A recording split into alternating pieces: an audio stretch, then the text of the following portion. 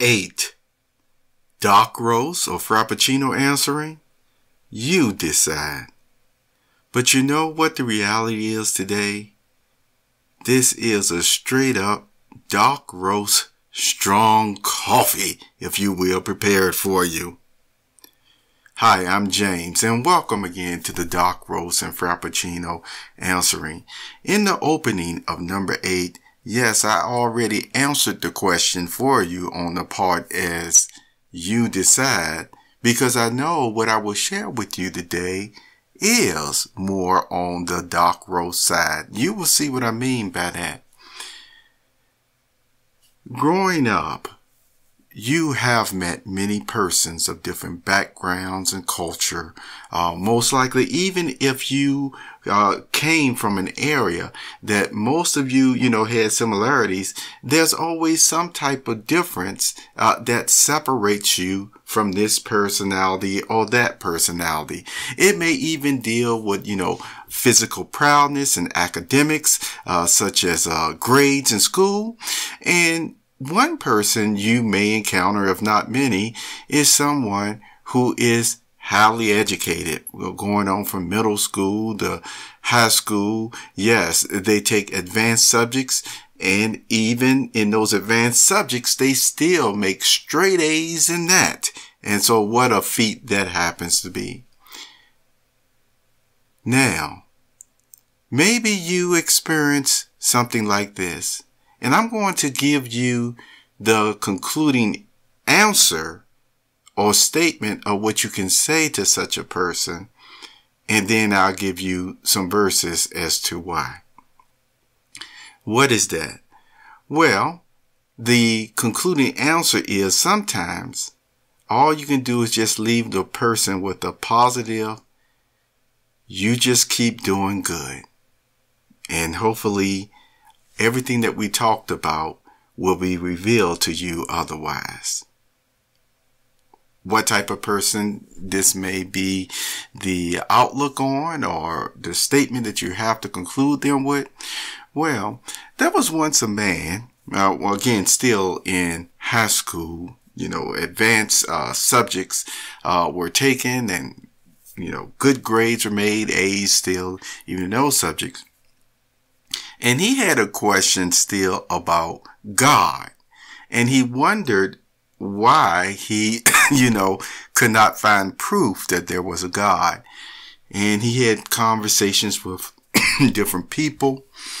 And one person that he was kind of fascinated with because of his strong faith in God, even though he felt like, boy, you believe in God, but you don't have no proof at all. They had conversations going back and forth. And of course, you know, one of the arguments that he happened to use was evolution and things of that nature. And so at this time, uh, you know, the person who had a strong faith in God, uh, really did try to explain this or that with the knowledge, uh, that he had at the time. Okay. Now, with that being said, the conversation still didn't change either one's of their minds. But you know what that bit of experience gave the one who did have a strong faith in God, which he continued to see from time to time. and excuse me, you know, I, I drank coffee just before I started this and I kind of got something in my throat along or something. But what he came away with was that he could see this person and persons that he would later encounter in life as, as ones who, you know, this person doesn't believe in God, but you can see they want to believe in God. Now, isn't that something? You ever run into somebody like that? And so, in order to leave them with some encouragement, you may just say, well, just keep doing the best research you can. Keep uh, doing good. And if you have a question, you can ask me. Okay. and sometimes that's all you can do. Now, why is that the case that we run into persons and God sound nothing like, uh, you know, just like really a fairy tale or even uh, may even say his words in the Bible are fairy tales as well, which you know I would state adamantly uh, with assurance and confidence when I tell you that they're not, that they really are God's words. Uh, he used men as like secretaries to inspire them. He allowed them to even express their own experiences in their of life. You know, I use King Solomon as one of them, one who experienced every type of uh, pleasure that you can at that time, you see, of life, and then put his conclusion of what he found out about it. And he found out with all his intelligence and all his enjoying pleasures of life that still the most important thing in life was to get to know God and please him by doing his will. Now, isn't that something? And, and that was the real satisfaction that he knew of. Some persons, uh, may be to the point where no, they are not thinking about God at all. And there are ones who will straight up ridicule ones who uh, try to learn about God and put their faith in God. Why does this happen?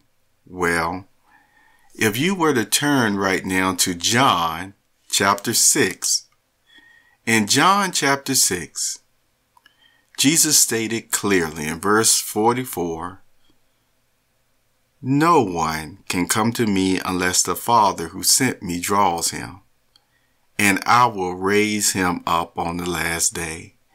And I like to share this verse with persons when sometimes they, you know, God has done a grand thing, a, a, a very loving, magnificent thing in providing his son Jesus for us to be forgiven for our, for our sins, you see, and be able to restore back uh, to perfect health being able to live longer than a tree, which means living forever, and spiritually be sound in mind as well, you see. So this is a great offer. And sometimes, you know, as uh, he sends his messengers, the ones, uh, they may view God as, uh, again, uh, not worth their time and as if God is begging them, you see, like they need them or what have you. And that's not really the case at all. And so I like to share this verse uh, that there are some, and this is factual, that the reason why they won't get it is because according to John chapter 6 verse 44, the principle is, no, the statement, the fact is, no one can go to Jesus anyway unless God draws them. So, what does that tell you? Thank you for being here. You have a wonderful day.